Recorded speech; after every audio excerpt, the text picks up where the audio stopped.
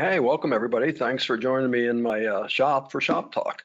So uh, yeah, I think I got a pretty interesting topic tonight. Uh, we're going to talk a little bit about how heat transfers with different type of uh, heat emitters and stuff like that. So I think uh, it'll be pretty interesting. I didn't have a really clever demo to do with it, live demo. So I did like kind of a little uh, a tooltip demo. I did some stuff over on my Vice here that we'll do a little video towards the end and then see how that goes. But I got a nice plan for the next one. I'm on the back side of my display here. I've got some new stuff that I'm building. So, all right, let's go through a little a bit of housekeeping and we'll get going. Hi, some friends in there. Hi, Mark and, and Jay, a couple people I know there. So, um, yeah, so this is what we've done so far. We can, uh, we have these archived if you want to go and uh, watch or rewatch one of the, the previous ones. And then we also picked up uh, three topics for the next. We'll go to the end of the May, see how it goes, and uh, see what kind and of crowd. Bob, I'm I'm sorry to interrupt you, but uh, we need to see your screen. If you could share that, that would be terrific. Oh, I'm sorry about that, folks. Um, where is that? Show my screen. All right, is that better, Mary? Voila. Yep. And then if you can just put her in presenter mode, we got it. Yep. Thank right. you. Sorry about that, folks. Yeah, so uh, yeah, some uh, housekeeping stuff here. You know, if you have problems with uh, GoToWebinar breaking down or something like that, that's a tech support number that they can uh, help you with a connection issue. You know, if the sound gets weird or the, um, you know, the videos aren't lining up or something like that, sometimes if you just sign out and sign back in, you get a better connection. That's what we found when, uh, it happens to us is we just start over and that usually cleans it up. So, um, and those again are the, the Shop Talk issues that we've done already. So we talked about air and we talked about uh, uh, dirt separation, magnetic separation, and then uh, I'll show you what's coming up next. So Tonight we're going to talk about transfer and heat, and then I'm going to do hydraulic separation. That kind of ties in with the primary second that we did uh, last week. So it's, I think, kind of the next uh, evolution in the way we pipe systems. So uh, that's a product that we know, I know a lot about working with Caleffi for the last, uh, whatever, 12 years, whatever it's been now. So I've got some good information about um, how they work and why you might want to use one and, and pros and cons. I'll tell you the good and bad news about them. Not every job needs a hydraulic separation, and so we'll dive into that a little bit. And I've got a good um, a demo. I don't know if you can see behind me. You can see the dog behind me, but I've got a I built a clear um, hydro separator, a four-port uh, hydraulic separator, so you can see exactly what goes on in there, how the flows kind of bypass, and it also uh, does dirt and magnetic separation. So you can see all four of those functions when I when I run it on the display here behind me. So that's going to be a fun one. And then, uh, yeah, last week's donation, we had a bunch of people tell us that they sent some uh, some food down to the food banks, and we did also. So thanks everybody that that supported us in that uh, in that charity. And then we've got a choice for this week, and there's uh, uh, John Mesenbrink, Mechanical Hub. Uh, today, did you go by or something? John took some canned goods down to his his local food pantry, so thanks for doing that. Yeah, we weren't quite six feet apart, but you were leaning out there a little bit, John, so that counts. And, uh, that's nice there. It's got one of the mechanical contractors on the truck too. Perfect. And so for this week's uh, donation, we thought we would go with Meals on Wheels. You know, they do a lot of good out there, and there's certainly a lot of people. My mother's one of those. Mother-in-law is one of those. It's kind of closed in right now, not wanting to leave the door. So it's nice to have people like that that can uh, deliver meals and keep an eye on some of the elderly folks out there. So thanks for uh, supporting that for us. All right, so here we go. Um, a lot of what I'll be talking about tonight comes out of issue number 23, hydronics issue that we did. Uh, we did an issue just, you know, heat transfer and hydronic systems, and probably most of the slides that I'll be using come out of there. So uh, hopefully everybody's getting these hydronics mailed to you. You know, twice a year we send these out for free. We'll mail them to your, your home or to your uh, business, wherever you want them to arrive and also they're available on our website as a PDF and there's a lot of good information on there you know we, we try and keep it as generic as possible. You know, it's not always about Caleffi stuff. You'll see our competitors' product in there. It's just really a good, uh, we try like to call it a technical journal is really what it is. So, um, and if you want the back issues, let us know. We have some of those available still too. And one other thing I would ask, if there's a topic you think that we should be talking about that we uh, haven't already or that we should talk about again, maybe, uh, let us know because we're, we're always looking for new things to talk about that can help the industry in general. It doesn't have to be about you know, um, Caleffi products. In fact, the next one's going to be on uh, air to water heat pumps, which is getting to be a pretty hot topic out there. So we're going to try and uh, you know, talk about that a little bit. And then, you know, the heavy lifting goes to John Siegenthaler, does most of the work. I'd like to take credit for these, but a lot of my pictures show up in them and, you know, Siggy will come up with an idea or concept and send it to me and then I go back in the shop here and build it up and see how it works and try it out. So some of the uh, homemade looking pictures in those are probably from my shop, but uh, you know, John does most of the uh, the calculations and the and the heavy lifting on those. So I don't know if he's on board today, but thanks for that, Siggy. All right, so hey, we're going to do this for our giveaway. Um, we're going to have some of these Shop Talk uh, t-shirts made, and we found a company that prints on demand, which is nice uh, for a couple reasons. Is number one, you don't have to buy a case of them to get you know all the different sizes, and there's a couple different selections of shirts and stuff on that, so we can get the uh, you know get the size that you need and want. And we can get them printed one at a time, or 10, or 20, whatever it takes. So I'm going to do the uh, trivia, I guess, question right on the front end here. This one's going to be a little tougher on the uh, the lyrics from a song. And I want you you got to know the uh, the name of the song and the artist on this one. So two things to win the uh, the T-shirt there. So the lyric goes like this. It goes, uh, "More bills than cash. I can do the math. Trying to stay focused on the righteous path." That's the lyric. So I can repeat it if uh, if everybody didn't hear that. It didn't come through clear. So more bills than cash. I can do the math trying to stay focused on the righteous path. And I've been in that boat for, for a long time. When I started out, more bills than cash, probably we've all been there at one point. Excuse me. So over there on the left, this is what we're going to try and get through tonight in the time that we have. Like I say, we'll go I don't know, maybe 45 minutes here, then we'll do the little demo, a video, then I'll come back for any questions and stuff. But uh, I won't read through all those, but they're all different ways that we transfer heat, you know, first from the boiler into the fluid stream and then from the fluid stream into the uh, different types of emitters. So I'm gonna go through, you know, the most common emitters that we see out there, radiant slabs and stuff like that. But what also what I want to do is I want to start out and just clear up a couple things I didn't have maybe the best answer for last week. So the couple slides here just answering some of the questions that came uh, that were typed in as we were going last week, and it had to do with uh, uh, pumps and piping on pumps specifically. You know what to do and what not to do. Uh, the question I think was how many uh, inches or feet of straight pipe upstream of the pump. And so there's our suggestion, 12 pipe diameters upstream. So if it's one inch pipe, you know, a foot, two inch, 24 inches. And that just makes sure that the, the flow kind of straightens out before it gets into the uh, inlet side of the circulator. And the other things that we always want to avoid with any circulators, we don't want to put a real flow restrictive device on the suction side of it certainly a Y strainer, which we know plug up after time, and now you're going to starve that uh, that circulator for flow. So um, if there's a Y strainer, ideally a dirt separator somewhere in the system, you know, put it maybe on the inlet side of the boiler so we protect the boiler and the circulator. But again, we'd want at least 12 inches of you know, pipe between uh, any of these devices if you got a, a check valve or anything like that.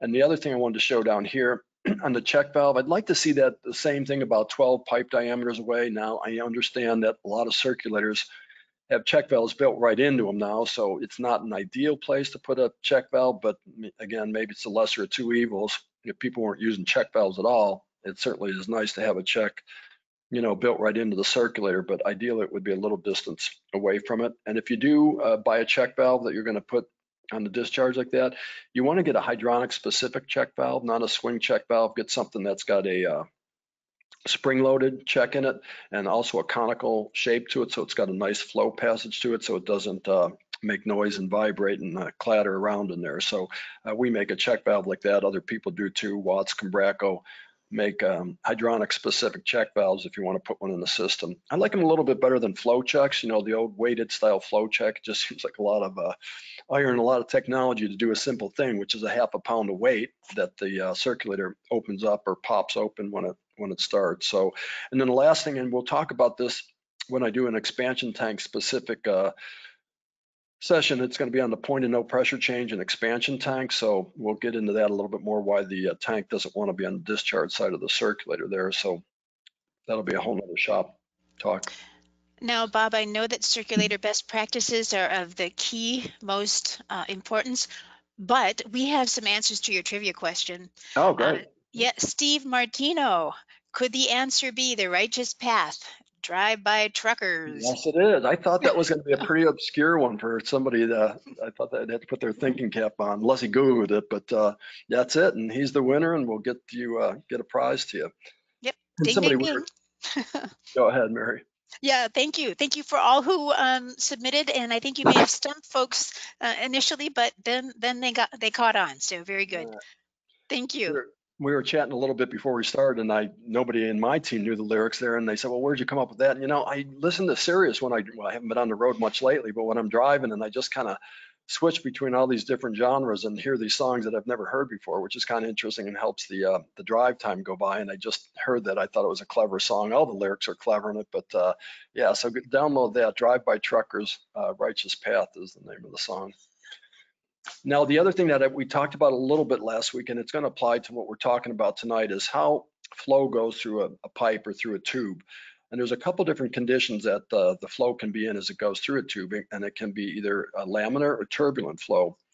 So laminar flow, if you looked at it, if you could explode the view there, it would look something like this, where the water goes through kind of in just little cones like that. And it doesn't transfer heat very well because you get, well, you can read right up here, you get this little boundary layer along the outside wall of the tubing. So the heat that's within that water, glycol, whatever the fluid might be that's going through there, isn't in good contact with the surface of the pipe or your radiator, your heat emitter, whatever it might be. So if we're trying to move heat energy out of a fluid stream into a heat emitter, into a pipe, into a radiant slab, whatever it might be, we'd like to have this condition here where all that temperature is contacting the edges of the, um, or contacting the wall of the pipe or the, uh, you know, the wall the panel radiator, cast iron radiator, whatever it might be. So we can predict when this happens in a tube if we know the size of the tube and we know a couple of pieces of information, and I'll show you how we do that. But uh, one of the questions that came up, and I'll go back a slide here. Um, when using the old style air purgers, you know, the scoop or the ramp type air purgers, you know, I heard somebody say, well, you want that 18 or 24 inches upstream of that so the flow can go laminar. Well, that's not exactly what happens there. The only way the flow can go laminar if you slow it way down, I mean, way down below a foot per second velocity. So really with that straight section in front of a, uh, take that down here, I've got a cutaway of a scoop type purger. That straight section upstream of this is really intended to uh, um, have the bubbles rise up to the top of the fluid stream before it even gets into the air purger, so it's got a better chance of getting out. We're not turning the flow into laminar condition as it comes into that. We're just getting the bubbles up to the uh, top so we can uh, vacuum out 'em- a vacuum, evacuate them out of the uh, purger a little bit easier, a little bit quicker. So now I got a mess on my computer.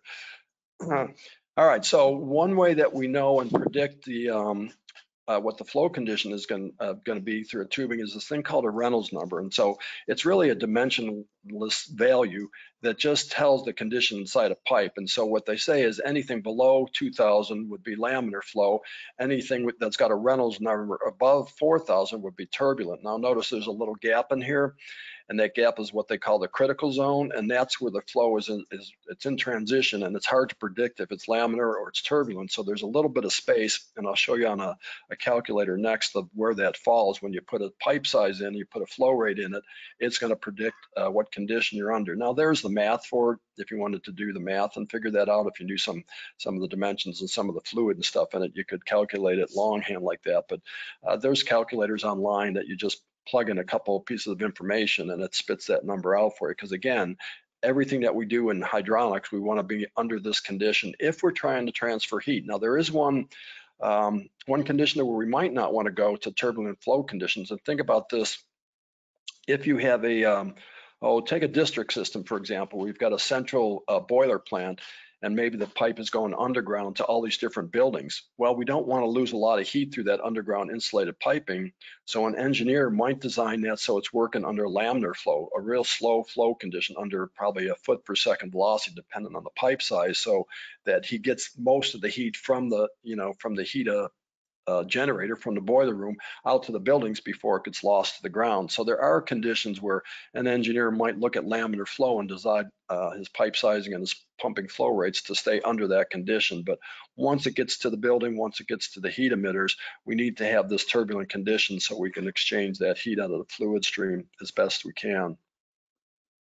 And by the way, it's happening as we speak in our bodies. I, as I was searching for, uh, you know, Reynolds numbers and turbulent flow, this came up. Who knew? I didn't know. But uh, the same thing would happen, you know, in our body. We want this type of flow condition. And if your veins or your vessels start to uh, uh, plaque up or you start to get, you know, a little bit of scale build up inside your veins, this is what happens. You get that little choke down section, just like when we have a balancing valve where we choke the flow down. And now we're going to have a little turbulent condition on the other side of that. And probably want to go to the doctor if they think that's happening. And what they'll do is they'll put a uh, you know stethoscope and they'll go around and they can detect that uh, going on just by hearing that uh, you know that condition that you get when you get turbulent flow or when you restrict uh, water or blood in this case through a, uh, a, restriction like that. And that's you can see how the flow changes from turbulent to uh, from laminar to turbulent conditions because of that restriction and that down downstream turbulent condition. All right, so this, I think I showed this on the, one of the other ones, and I, I kind of like this. Uh, the Plastic Pipe Institute has this free calculator on their website. Uh, you have to agree to some terms to use it, but basically, uh, this one's just for plastic pipe, of course, because that's the business they're in. But you just put the type of tubing in here. They've got PVC. They've got a bunch of different plastic tubes, and the um, the wall thickness of the tube down here. PEX is the SDR uh, standard dimensional ratio of nine. Uh, the size of the tube, and then you can put in a um, a flow rate and it's gonna um, predict one of these boxes over here. So in this case, I just kept uh, going down with my flow rate, going down, going down, going down until I could get the flow in that three quarter PEX down to a, a, laminar condition. And over here is kind of what I did. So to get down to laminar flow condition, I had to get down to 0.4 tenths, under a half a gallon a minute flow rate to get down to a laminar flow condition in a three quarter uh, PEX. And at that flow rate, we're looking at a 0.4 feet per second. Think of a you know, water going through a pipe, you know, how many feet per second, you know, a half a foot per second, barely going to see that movement at that kind of flow rate.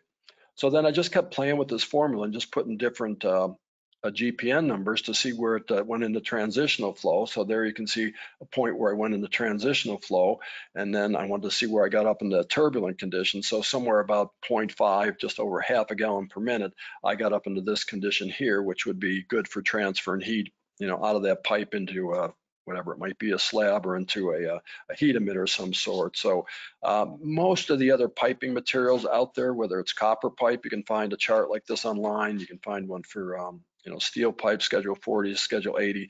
One of the best resources I found for um, uh, looking at other pipes is it's called the engineering toolbox. It's just a website that has all sorts of different calculators. And if you put in a uh, flow velocity uh, calculator, will come up and you can uh, you know, input the type of pipe you have, the flow rate, the size of the pipe, the type of fluid, the temperature.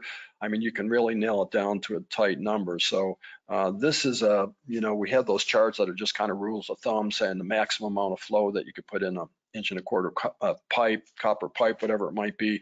But this would be a, a, a, you know, something you want to use if you really want to get that number exact, where you don't have to guess and say, well, do I have to go from inch and a quarter to inch and a half? What would happen to my flow velocity if I went 13 gallons a minute through inch and a quarter instead of the recommended 10 gallons per minute. So this is, you know, all these tools are out there. They're available for free for the most part. So, you know, take advantage of them. So here's what we know. The second law of thermodynamics basically simply says, you know, heat energy transfers from a material at a given temperature to another material at a lower temperature. So hot goes to cold always. We can't make things cold. So if you put a six pack of warm beer in your refrigerator, what the refrigerator does, it pulls the heat out of that six pack and expels it to the outside of the refrigerator, either coil on the bottom or the coil on the back. If you put your hand on that, heat comes off of that. Well, that's the heat that it's pulling out of that uh, that warm six pack that you just put in the refrigerator. So heat goes to uh, cold, and uh, we know that uh, with buildings, obviously, because the windows, you know, the heat's going to try and go through all the low R values to the outside.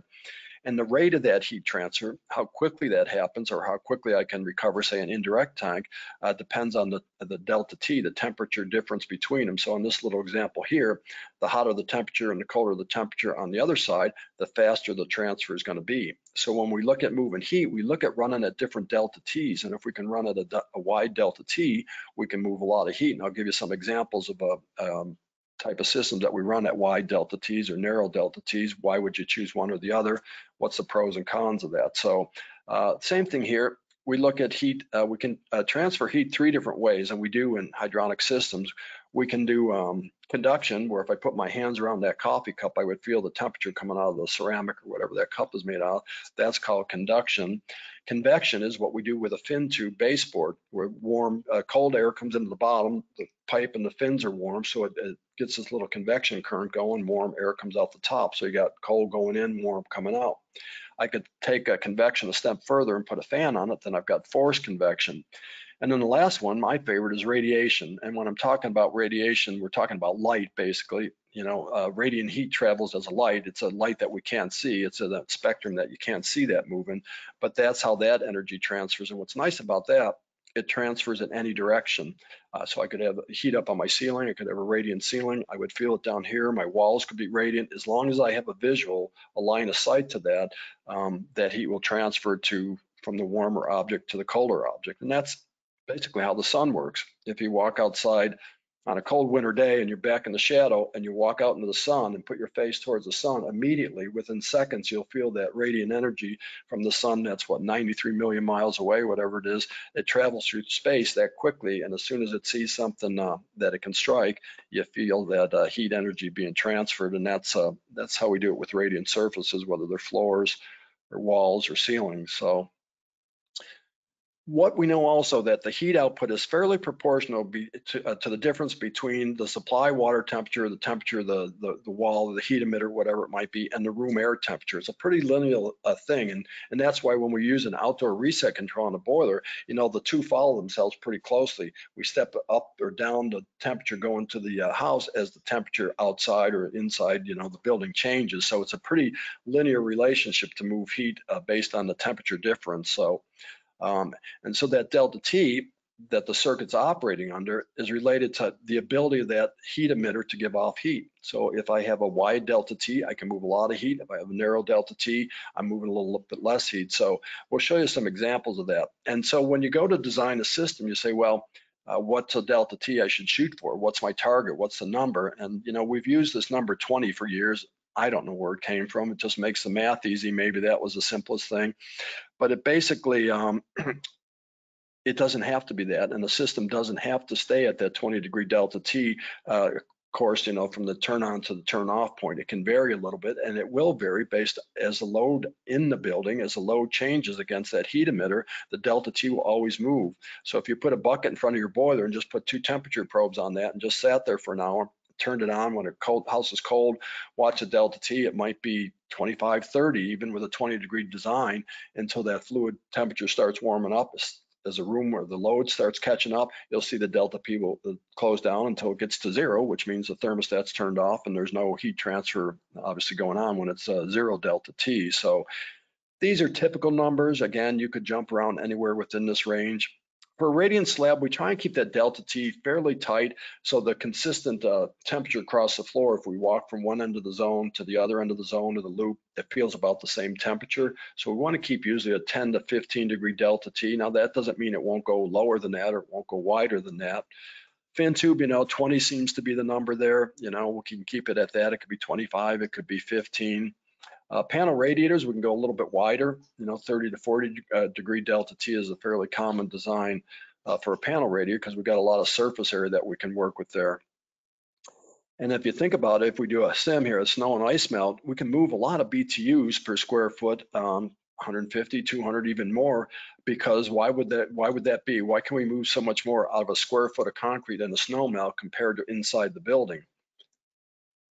Well, the delta T. I mean, if you look outside and it's 30 degrees outside, the ambient air temperature on that slab is 30 degrees. If I'm supplying it with 100 degree water, I got a huge delta T to work with, so I can get a lot of BTU output out of a square foot of concrete if it's sitting outside where that wide delta T is driving that heat transfer. So, uh, and these, I just got this picture today, thanks to Mark Etherton for turning me on to uh, this picture of a, a, really nicely made radiator. So really anything that you can um, get warmer than the ambient air temperature around it can be a radiator. It could be a wall. It could be a stair railing like this. It could be pretty much anything. In fact, I've done a, a couple of radiators over my lifetime just trying different materials to see what would happen. And this is a, in fact, I still have this. It's a concrete dog that I had one of those uh, ornamental concrete companies cast this.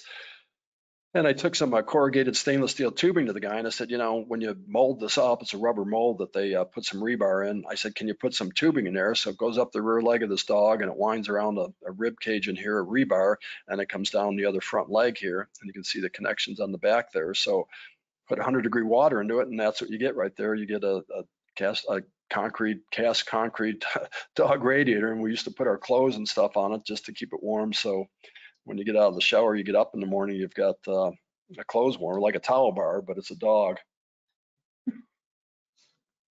And we had a new puppy one time. He goes in there, starts barking at it. Didn't realize it was made out of concrete. Looks like a foxhound.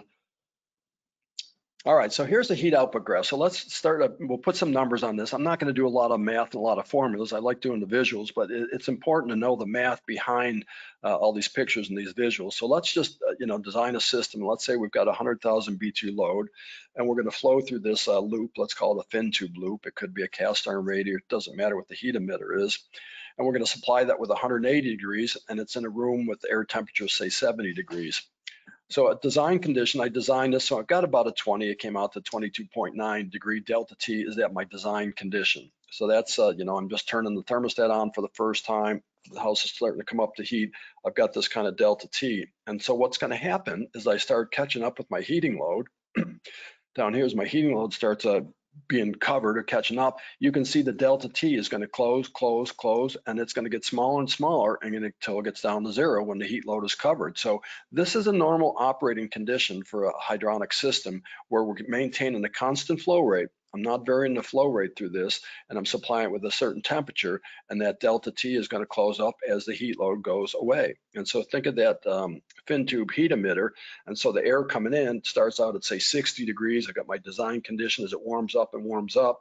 Now I've got less delta T between the air temperature and that uh, temperature of the fin at say 170 degrees, whatever it might be, my delta T starts closing up. Eventually my thermostat satisfies and it shuts off. So it's really the thermostat that's in charge of what's going on in there.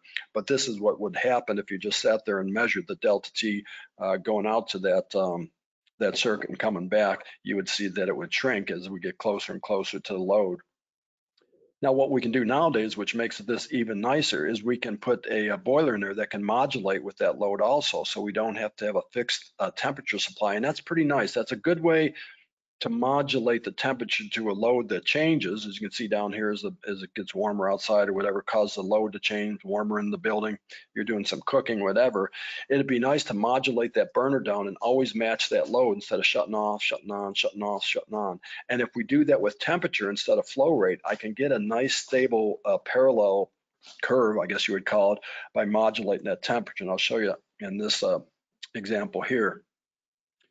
So when you design a fin tube system, this is a, uh, John Siegenthaler sells this little simulator software here. It's really nice. It's got a bunch of different toolbars across the top. So I can do a heat load, a baseboard fin tube. I can do a circuit simulator. I can size expansion tanks.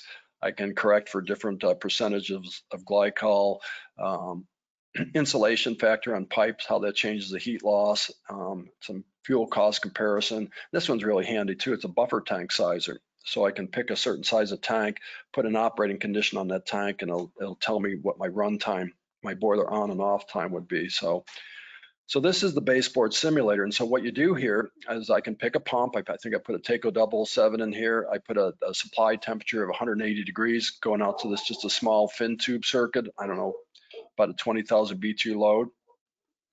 And so I can go in there and I can define, there's a pull down menu. I can put slant fin in there, embassy, whatever type of baseboard you want, different sizes of baseboard, uh, different models of it. And then I put the load in up here. So if I had, I don't know, if I put in this great room, I think I might have had a 10,000 BTU load in there it'll tell me the uh, length of baseboard I need to cover that load in that room under this condition. What I like about this is every time you go to the next room, since I'm in a series here, it's going to tell me what the available temperature is at that next baseboard. So what I did on these bedrooms here is I put the same load on every bedroom. I call them the guest bedrooms or the kids' bedrooms. And you can see that the length of the fin tube starts to get longer and longer as I go around the circuit because my temperature is dropping. Even though I had the same BTU per hour load in every room, every time I go through a heat emitter, I drop some temperature, drop some temperature. So instead of using the supply water temperature to size baseboard or using the average water temperature, if I said, well, if I start with 180 and I come back at 170, um, you know, my average temperature to those heat emitters and size it by that, this is going to get it even a little bit more accurately because it's going to size every baseboard to the exact load in that room at the condition of a, or at the temperature that it's receiving as it goes through there. So there's an example where I can put a room name in there. I can put the type of fin tube I wanted to put in there, put my design load and put that in. And then once I accept that, this is what you end up with. so it shows me all the different uh, lengths and all those different rooms as I go through the loop here. And I can play around with that. I could pick a different circulator pump. I could go bigger pump. I could go a smaller pump. I could change my supply water temperature. Uh, if I wanted to put a percentage of glycol in here, I could see how that affects the heat output going through here. So it allows you to play all these what if scenarios before even go and, you know, pick up the parts to build a job like that, I can say, well, no sense in putting, you know, the same amount of baseboard in every one of these rooms. You can see right here, my first room has six feet, had to go a little bit longer on the next room because I dropped that temperature from there to there. This baseboard is seeing a lower temperature. So it's just a, um, it's an accurate way to do a, a design and it's, uh, you know, you can play around with it. So let's say I've got what, six uh, fin tubes on that. Probably don't want to go much more than about 60, 65 feet on a series zone like that. I can just go down here and put another zone in them and it would just split off another zone and I could do maybe the upstairs or the basement as a separate zone. And the same thing, I could toggle on different circulators, different operating conditions and just see what the result is, how much heat I'm gonna move, uh, what my temperature drop is through that circuit, all that stuff. So if you're doing this type of design work, this is a pretty handy little uh, calculator to give all the information to you. All right, so now there's another uh, condition that's going on out there in uh, some of the pumping uh, options that are available today. There's, uh, there's a Delta T and a Delta P pump. And what the Delta T uh, pump does, it tries to keep a set uh, temperature going through the heat emitters all the time. So let's say you designed a system at a 20 degree delta T, the circulator is going to speed up or slow down trying to maintain that temperature all the way from start up to sh uh, uh, shut off. And basically, if you think about it, what it's doing, it's really uh, kind of like an injection mixing where it's just pulsing that heat in there. You know, it's just trying to match the load by changing that uh, speed of that pump. Here's one thing I want you to be aware of when you do that. So this line up here is what would happen if it was just allowed on a reset control to just operate at fixed speed on the circulator. This orange line, if you look what happens here, is the flow rate's changing on this orange line, and it's changing because the flow rate's trying to match that delta T that you programmed into that circulator pump.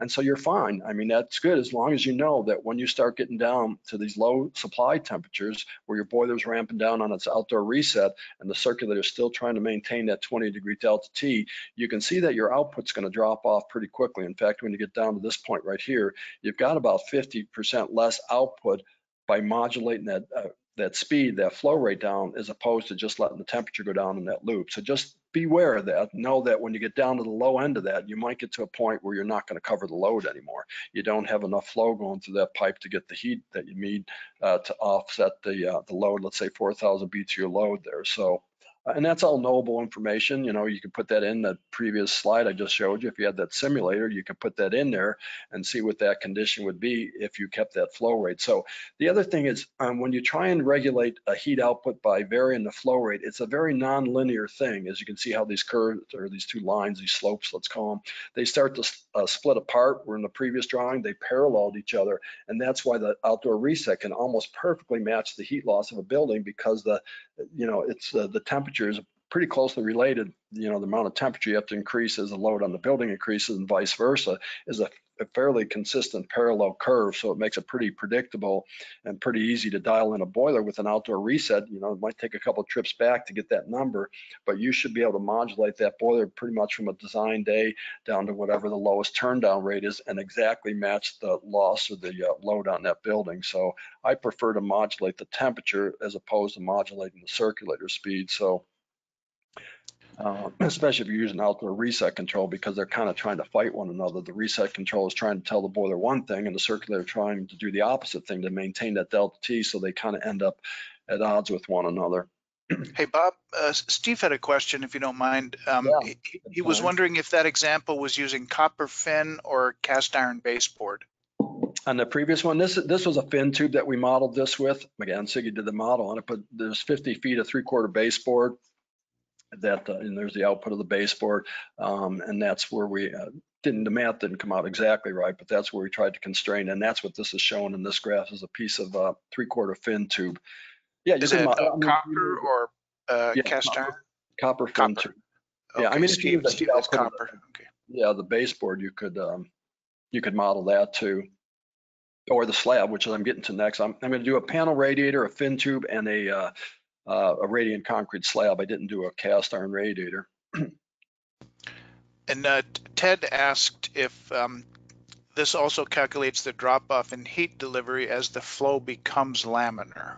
Yeah, so that, that's exactly right. Somebody's following this exactly the, what I'm trying to show out. So you're gonna get down to a point here. Remember I showed you earlier that on that three quarter, it was PEX tubing on that uh, PPI calculator. I showed you when I got down to this flow rate, was at 0.4. I think it was in that three quarter PEX, which has a little smaller ID than three quarter copper, of course, but I think it was at 0.4. And that's why this would just, it would be in the toilet quickly here if you got down below that uh, 0.4 GPM where you went to laminar flow. Now the, the water's just going straight through that tubing and you're not getting, uh, not getting very good transfer at all. So that, yeah, that's exactly what, uh, what's going on there.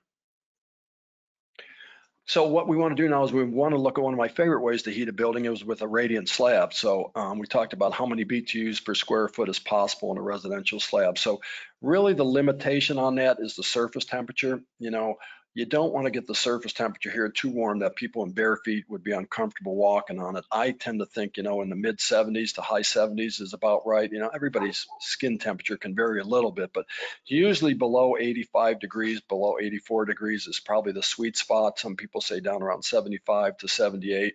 And so if you would look at that, if you're limited by that surface temperature, that's going to limit how much heat I can get out of a square foot of a, a concrete slab, for example. So uh, it, let's use an 82 degree surface temperature. And let's say the ambient temperature in that room or in that building is 68 degrees. 82 minus 68, the factor is 1.9 for a bare uh, concrete slab without any finish on it. I'm going to get about 26 BTUs per square foot. So when you hear people say, well, the most I can get out of a concrete slab is uh, 28 or 30 degrees uh, uh, BTUs per square foot, that's where that number's coming from. Now, if I was in a shop building where people in, uh, you know, work booths or something all the time, I could raise that surface temperature up a little bit higher and get a little bit more output out of that slab. Again, if I'm at a, a residential application where I know people, you know, might be walking around barefoot or something like that, they certainly don't want to have to put shoes on because the floor temperature is too hot. So that's really the driving factor on what kind of a, you know, heat output you can get per square foot of a slab. Now, obviously, as you start putting floor coverings on that, you're putting R value on there, you're limiting that output. So, and here's a, let's take that number and just do a, a little snow melt here. And so let's say we're supplying 105 degree supply temperature to a slab that's a, in a 30 degree temperature, 30 degree ambient. Well, 105 minus 30 times 1.9, that's where we get such a massive uh, output on a radiant slab that's outside as a snow melt instead of inside. I've got this big delta T that I'm leveraging from my uh, supply water temperature to my ambient temperature. So that's how you say, well, how can a, a, square foot of concrete give you so much different output? Well, that's the condition right there. I'm going to send you to my friend's website. I call him the Thermal King, uh, Robert Bean. There's so much information on his website about the, all these different studies that have been done over the years about floor temperature and humidity. I mean, it really is a comfort site more than it is a heating site over there. And this is just one of the graphs that uh, I got permission to use. And he's shown this design temperature here in this range. Uh, in fact, I think this article, one of these standards over here, ASHRAE standard 55, um, suggests 75 degrees being a, an optimum temperature. I tend to think, for me anyways, that's a little um, on the cool side. If I stepped on a 75 degree uh, slab, while it might be covering the heat load, it might not feel warm to your uh, customer's feet. So if they're expecting a warm slab all the time, that's probably getting a little bit low. So usually somewhere around that 82 degrees seems to be about right for me, surface temperature. And so that's uh, that's going to dictate the output of this um, slab. Again, is the, the maximum temperature I can get on the surface of that. Now know that I showed on this one and that uh, that other FEA I showed you a little bit earlier. That's going to vary across the you know the surface area of the slab depending on the spacing of the tube. So if you've got 12 inch on center spacing, you know, that high temperature is going to be right over the tube where it is, and it's going to get a little cooler between the tube until you get to the next one. So that's another little thing to do if you want a really nice consistent floor temperature is get that spacing tighter, get it down to a nine inch, even a six inch if you can do it, um, because that's going to even out that surface temperature and it's going to allow you to run that slab at a lower uh, supply water temperature to get that amount of output because now I've got the whole entire slab um, at a consistent temperature instead of having that what we call striping where you got warm over the tube, uh, cool spaces in between it. In fact, of all the tubing that I've used over the years to do radiant uh, slabs, the most uh, comfortable one I found was, uh, well, it was first called a solar roll, and then Heatway came out with that uh, twin tran, and it was a tube right next to a tube. They're actually connected, and it was a counterflow. So you had hot going one way and the opposite on the other way, and it really, I mean, you could take your hand over the surface of that concrete, and you could barely tell a temperature difference between tube and tube because that counterflow design and that tighter spacing in that tube, it really uh, evened out the uh, the um, surface temperature. Um, so yeah, I mean, visit there if you have a chance. And Robert's always doing interesting things. He's got a new book out. He just did a study in um, collaboration with the BC Housing Institute, the education grants program back there. And so uh, uh, support his site and, and download this and you can read it. It's a, it's a lot of information there. Some of it's, I'm punching a little bit above my weight on some of that stuff that he puts in there, but um, it's good information about other things you want to think about for comfort, not just the temperature of the room. Excuse me. All right. How am I doing for time? Yeah. All right. So here it is on a slab. And so what's interesting about this is let's call this a what we modeled here is a 300 foot loop of half inch PEX tubing and a four inch bare slab, a 12 inch on center. And what I'm going to do in all these instances here is I'm going to give them the exact same supply temperature. I'm going to keep that temperature consistent and I'm going to uh, change the flow rate and look what that does to the delta T going across here. So on this one here, we're running this at a 25 degree delta T, so 110 coming out at 84. And you can see exactly by the color of that loop what happens. So if you get down to this part of the room or this end of the loop, that's not going to be a variable, uh, very comfortable uh, floor surface temperature there because I've run in such a wide uh, temperature differential there. So all right, let's take and squeeze it down. Same temperature here. I'm going to squeeze it down to uh, a 12 degree delta T, and you can see I'm starting to even that out a little bit better. I can go all the way down to a 7.3, and now you can see I've got a pretty consistent temperature from the, the front end uh, to the back end of it. Now keep in mind, it's going to cost you more pumping power to do this, and that's going to be the trade-off, is how much circulator do I want to throw at this to get this job done. I'm of the opinion as long as you're in a you know low to medium head circulator, that's not too much circulator. If you got to put two double 11 or 2699s, you know, flange to flange together to get this to happen, that's probably not, you know, a good design to do there. And so there it is right there. I mean, you can see as my flow rate changes, you can see how the output of that slab. Now notice on the red curve up there, you get to the point where a lot more pump gets a very little bit more um, output. So you can see I got a pretty steep curve going up. And then when I start to get out here, and this is kind of the difference between a one gallon a minute and a four gallon a minute on a fin tube baseboard, you get a little bit more output, but is it worth the extra pump to do that? You know, you just got to run the numbers and know that, but you're going to get to a point where this is going to start to flatten out. Even if I went out here to three, four gallons per minute, not going to get that much more output, but it's going to start gobbling up a lot more um, pump horsepower to get you there. So what about low load radiant applications? So what we're finding in a lot of the new homes, especially the ones that are trying to get, you know, green certified or LEED certified, they're getting pretty low BTU per square foot heat load numbers. In fact, we've seen some designs where single digit uh, heat on a design day, single digit uh, BTU per square foot requirement. So how do you get down there? Well, here's what you're going to run into. You're going to find that to put that kind of uh, heat energy into a building in a design condition, you're going to have a pretty low uh, water temperature to be able to do that. And again, right there, 73 degrees surface temperature to get that 10 BTU per square foot load that's not going to be a warm floor. If you're selling this to a customer as a warm floor house, they're going to walk in there and say, my floors actually feel cool, not warm. And you're going to say, well, what's the temperature? Well, it's 72 degrees in here. Well, the heating system is covering the load, but it's not um, getting the floor warm to have to do that. So uh, there's the math to, to calculate that. If we know what the load is on it, we know what the ambient air temperature in this case, I'm calling it 68 degrees. To get that 10 BTUs per square foot, I only need a surface temperature of 73 degrees. Now, the good news about that, if I've got a ModCon boiler, I'm probably going to run that boiler at 80, 85 degree supply temperature. I'm going to have a great condensing con uh, condition and keep that up in the high 90% efficiencies. But, you know, you want to make sure if the customer is expecting expecting warm floors, uh, that's not going to be the case.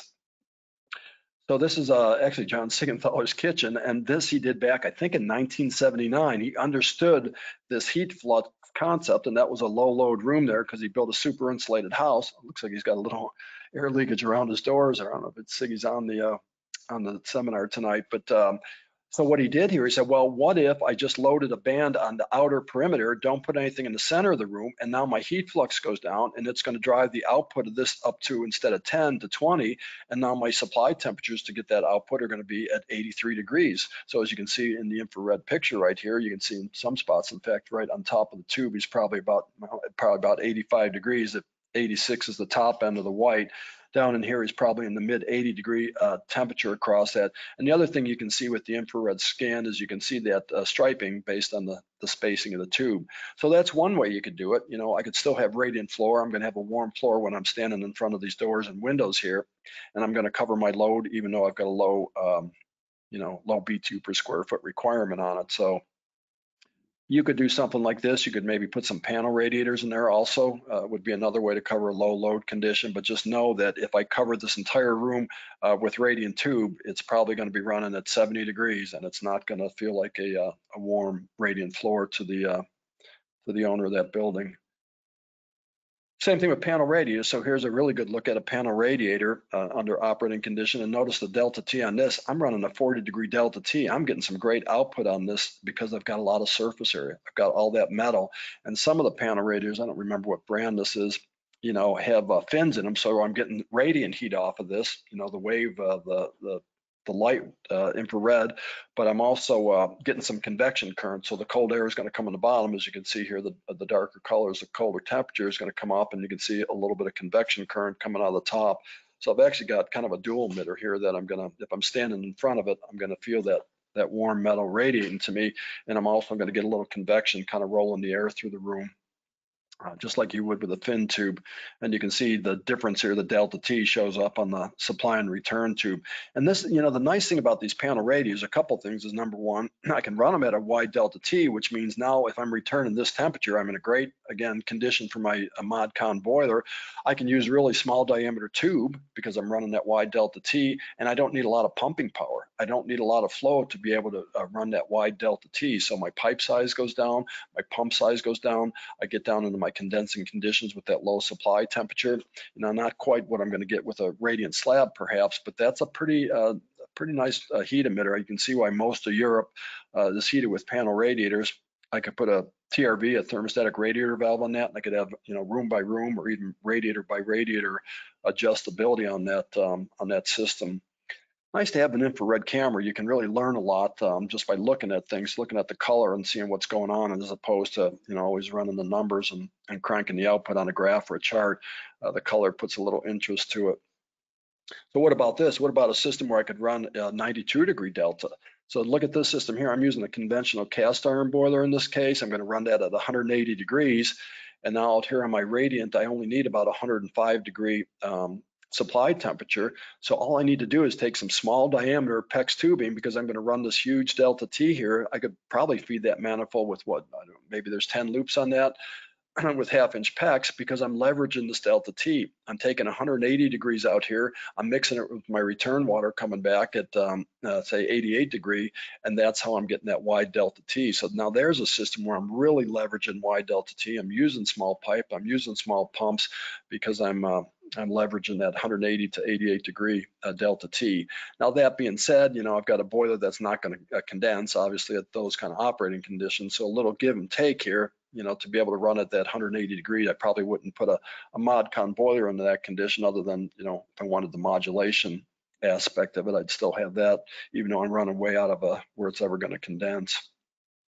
And that's why in this example here, we've got a return protection valve on this. So to make sure that I've always uh, maintained an 130 degree return to that cast iron boiler so I don't start sweating or condensing in that boiler. So just a basic uh, three-way thermostatic valve will protect that, um, that boiler from running too cold. Uh, yeah, I think I covered all that. All right, the last thing we'll talk about heat exchangers, then we'll do a little video. Uh, yeah, there's different types of heat exchangers. This is what we call a tube and shell, uh, coil and shell, flat plate heat exchangers. these are just ways that you can move heat um, from one fluid stream to another. I might use this for uh, making domestic hot water. I might have a snow melt that I want to put glycol in. I want to run the boiler on regular water. I might move a, uh, use a heat exchanger like this. You can move a lot of energy through these little plate heat exchangers over here in these different type of heat exchangers. So uh, sometimes you'll see a coil right in the side of a boiler, a tankless coil, you know, just a, a cage of a copper tube that goes in the side of that. It's just basically a heat exchanger that's using the, the boiler fluid on one side and the domestic water goes through the inside of that. And there's an example of a couple that I've got here in my shop. I actually cut one in half one day just to show a visual of how you can get so much heat transfer out of these tiny little heat bricks, we call them. It's all the surface area that you have in there. You can see all these passageways. Number one, you've got a lot of surface area and you've got really turbulent conditions because you can see as the water flows through those passageways, you got a lot of activity and that's where you can get that, um, that good heat transfer by having a lot of uh, turbulent condition. If you put one of these in, there's a couple ways you can pipe them. You could go supply and return, supply and return on both the A and B side called a parallel flow. You're gonna get a little bit better heat transfer if you do a counterflow because again, you're using that delta T, the cold against the warm. You're getting a better exchange there. And that's just basically what these graphs are showing the, the difference between the parallel and the, the counterflow and a flat plate heat exchanger. In fact, this is probably a better a better example of that. Now there's the math. If you wanted to run the numbers by hand, again, the best way to do this is just go on to one of the manufacturers of these, and they most of them have free um, software simulation on their uh, on their website that you can just plug in the flow rates, plug in the temperatures, and you can predict this here. But you can see not a huge difference between the parallel flow and the uh, counter flow in this example here, but it just again depends on what you're asking or what condition you're putting that heat exchange under uh, to determine that. And so what I would, um, if you want to a little fuzzy unless I'm hallucinating. But that uh, uh, just a screen grab. So this is an example of the, the GEA uh, website there. So all you need to know is all these different conditions. If you know the temperature on the A side and the B side, you can predict the amount of uh, uh heat energy that this uh, little plate heat exchanger can move. And, and you can play around with this. You can change the side of the uh, the temperatures on there. You can change the size of the heat exchanger. Uh, you can play different pressure drops with it if you want to make sure you can do it with a small uh, circulator pump. Basically, you just change the dimension of the plates or the size of the the external dimension of that and you can really uh, you can nail these into an exact number in fact if you size one of these uh, accurately and um, well enough, you can get what's called a, clo a, close approach, where I could get pretty close to the same temperature coming out of this as I'm putting in the other side. So if you want to make domestic hot water, it's say um, you want 120 degree domestic hot water coming out of it, and you've got 125 or 130 degree on a solar array, let's say on the other side of it, I could get that a heat exchange if I size the uh, the plates properly, get a you know a big enough size that I could transfer that heat within that uh, three to five degree uh, close approach uh, temperature range. So yeah, you can do a lot of things with those. And here's indirect tanks, just a heat exchanger if you think about it. So this is what's called a reverse indirect, where the boiler water would be in the tank, and then the coils, the copper coils, or sometimes stainless, is where the domestic water. So it's almost like an instantaneous tankless heater in that the water gets heated as it goes through these loops inside there, and it comes out at the temperature. So uh, those can be nice buffer tanks also. You can use that as both your uh, your indirect heat source as well as your buffer tank for maybe a microzone system. And this is a nice way to do it in that you can just buy a blank tank. You could just buy a you know inexpensive electric water heater, just a plain steel insulated tank, and then put the heat exchanger on the outside of it. Now it's going to cost you a circulator pump to do that, but the nice thing about that is you can size that to exactly what the load is. If it's doing a, a, domestic water load or it's doing a radiant heat load, you size the plate heat exchanger and the size of the circulator. So this becomes your thermal storage, your battery, so to speak.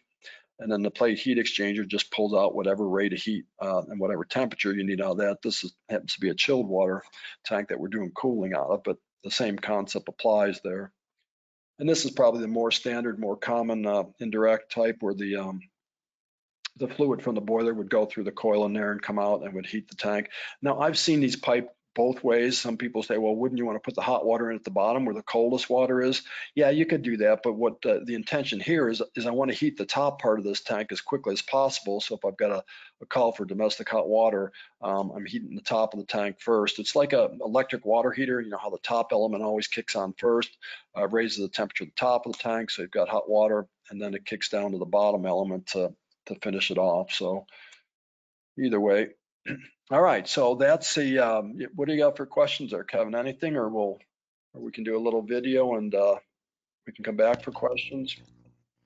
Uh, well, I've got a really nice comment here from Mark. He said, uh, I have three houses with hydronics. One has all radiant walls, one with walls, floors, and steel panel radiators, and one with radiant ceilings and radiant windows. And he- prefers the radiant ceiling overall. Uh, I hadn't heard that before. Yeah, Um, I've been, I've been in one most- it's- yeah, thanks. I've been in one of Mark's house with the windows and it's a, it's a pretty amazing thing. But you know what? I- You know, there's pros and cons to everything. What I like about the, um, uh, the radiant ceilings is you've got a lot of surface area up there to play with. So you can get, um, you know, you got a huge radiator basically what you have. So, um, um, yeah, and- really and interesting. floor coverings on it, obviously on the ceiling. So you've got pretty much an encumbered radiator up there. So yeah, thanks for the. Yeah, the- thanks, thanks, Mark, very much. Uh, I'll, I'll look for some more. Bob, go ahead with your video. Yeah, I'll do a video. And again, this is just kind of a little tool tip thing. It's not really um, heat transfer related, but I thought maybe somebody could find this useful and use it. So I'll just play this.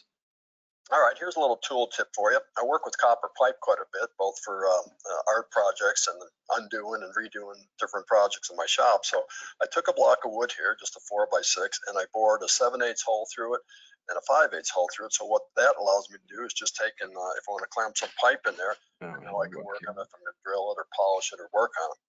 And then what I did on the other end here is this is a, uh, a three quarter hole here, and this is a one inch hole. And so what that allows me to do is put a fitting in here like this.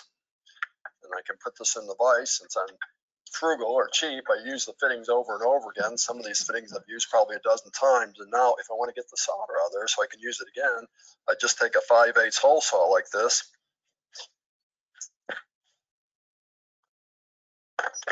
clean it out, and there's a perfectly reusable fitting gun. Some of these I've had probably for years that I've just uh, taken apart and used over and over again. So block of wood, a couple hole saws, there you go. All right, let me close this out. Bob, you're a genius. I don't know about genius, but uh, I'm just cheap. I just, I hate to throw a copper fitting out and sometimes I get so much solder globbed in them. You spend an hour with your pocket knife trying to get it, get it cleaned Yeah. out. So uh, I just came up with that idea. I saw the blocks. I got that online somewhere. That wasn't my idea, but um, it, um, I thought it was pretty clever. Jared has a question here. When installing two indirect tanks for thermal storage, do you feel parallel or serial piping is best, assuming that both tanks are the same size? Yeah, you know, there's pros and cons to both of those. I mean, when we used to do the big custom homes back in uh, in Park City when I worked there, we would put water heaters in series, and basically what you would do is you could just run on one most of the time. And when they had a house full of people and they had you know ski guests or something in, they could turn up the uh, the one. You know, the first tank was kind of like a preheat tank. It would just let whatever water came in, it would get to ambient room temperature in that tank, and then the second one would be the final feed. So that way, it gave the ability to you know double them up or have the other I've seen people parallel pipe them too. You know, it's um, if you do that, you've got to pipe them properly so that you can uh, webcam back on here.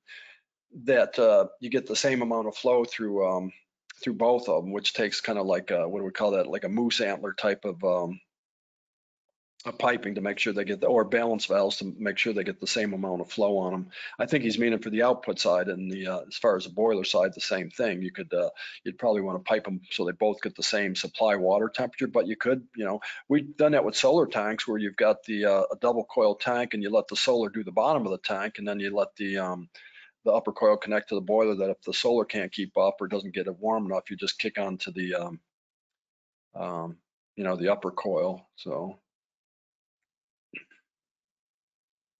yeah.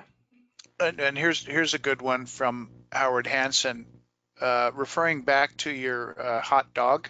Um, aqu- Aqualung is is that what Ellen said? There. Aqualung, that's Yeah, name. that's Max put that on. Where Yeah. where do you bleed the air out of the dog? next. Next one. I don't. That's a good question. I just shove enough flow through it that it just kind of like a, uh, you know, a Giannoni type of heat exchanger. You just kind of drive enough flow through that and blow the air right through it. So it had a pretty small diameter. I think it was three eighths um, um, gas flex or WardFlex. I don't remember what brand I use. So yeah, it blows out pretty quickly because yeah, there's no way to get a, a bleeder in there without coming out his ear or something, I guess. Does anybody want to raise their hand and ask a question? We have, we have a few minutes here. I'll watch for that. That's about it for the questions though, Bob. Yeah, and I had a couple that were sent in. I think I answered them through the, um, um, I printed those off that were uh, pre-submitted questions. I don't know if you can see those on there, Kevin. But, um, trying to think what the one was. It was a question from last week, actually, I think. Yeah, I guess I don't have it here. Yeah, well, I mean, then I I guess we'll, uh, we'll call it a wrap. We had a good turnout tonight. Thanks, everybody, for showing up. And uh, uh, that's how you can get a hold of me if you want to chat or if you have uh, questions on something or if you have something you want to teach me. I'm I'm certainly willing to learn. If you've got some uh, clever tool tips or something like that you want to try out, let me know and uh, we can certainly do that. And like I say, next week we'll be back on the demo board. I don't know if you can see that. You could show them your glove. I, uh, I'm going to show you some kind of turbulent flow condition over on this. Uh, I don't know if you can see that at all. You can see how the uh, the flow is going on there. Maybe not. My lighting's not so good in here. Sorry about that. But uh, yeah, we're gonna we're gonna have that demo going again for next week. When I put some food coloring in, the color uh, helps it jump off a little bit better, and you can kind of see that that turbulent flow going through there as I change the pump speed and that play around with the balancing valve. So. Can you put that bare concrete output graph up again, just for a second? Uh, Jim, Um, Jim is, Jim wants to take another quick look at that if you still have it. Yeah, and these are, um, I think it was way up at the top, wasn't it? You know, these slides are available. If somebody wants them, we'll, um, you know, at the end, uh, um, you know, just let us know where you want them to send them. We'll probably turn it into a PDF so it's easier to, uh, I think it was it this one? Not exactly a bare slab. It's got a little bit of hardwood on top of it. Yeah, wa- was that it, Jim? Did you want to raise your hand and ask a question about that? Here's a hand, um, well, let me see if Jim's got his hand raised. Uh, He doesn't, but, um, here's a hand raise. uh, Gabor, is that how you pronounce your name? You're unmuted. Hello? Gaber? Gabor Milicic? Am I on the right- Milicic? Sorry, I probably mispronounced your name. Bob, I did find those pre-submitted questions. If, uh, Oh, uh, okay.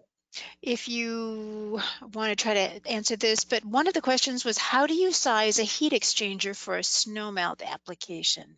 Yeah, and I think that's one I covered. That's why I put that little graph in there. I'm using that, um, oh, every brand has a little, uh, simulator like that. If you, sometimes you have to, uh, agree to some terms or something to sign up or register to get it. But, um, yeah, you can just go in there. If you, you, you need some information, you need to know what the load is on that. You need to know what kind of supply temperature your boiler is going to be able to supply to it. And then you just start plugging in some numbers and it's, uh, usually they spit out a couple different choices, you know, depending on uh, what kind of delta T and stuff you want to run. They usually give you two or three different choices, but uh, you can try the simulator. And most of the people, if you call them or send them an email, some of them have that live chat on the bottom of their website now. If you need help uh, sizing that, they'll they'll give you some tips because sometimes they can optimize it for you and, and put you in a price range that works out too. So. Yeah, that's what I would suggest. I mean, you can do the longhand. The math is in, in fact, I think it's in the back of this hydronics. There's a little uh, formula for sizing uh, plate heat exchangers like I showed you in that one slide, but you know, I like clicking buttons instead of doing the math. I'm not a good math person. Okay. And any tips, Bob, on yearly maintenance that needs to be done on heat emitters that you can Oh, that, share? yeah, that's the one I thought of. So yeah, that's a good question. I mean, it would depend, of course, on the type of heat emitter. Not much to do on a radiant slab other than sweep it once in a while. But if you have a um, a fin tube, sometimes, especially if you live with pets, they can get uh, you know dog hair and their you know dust and stuff, and can build up on them, and you don't get much output. You might have to get in there with a little vacuum cleaner with a brush on the end of it.